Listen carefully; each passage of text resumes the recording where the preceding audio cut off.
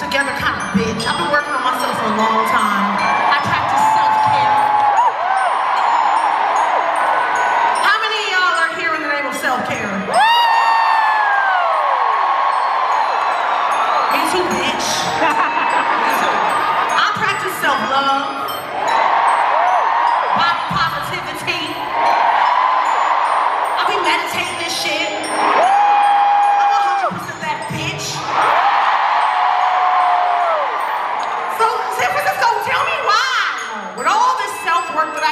focusing on myself. Numero uno. Why the fuck do I keep running into these fuck boys? I got like four fuck boys in the lineup right now. Ain't none of them even be starters. But you know what I'm talking about because you lizzo fans. You be working on yourself, meditating, hydration, skin clear, and just flowing.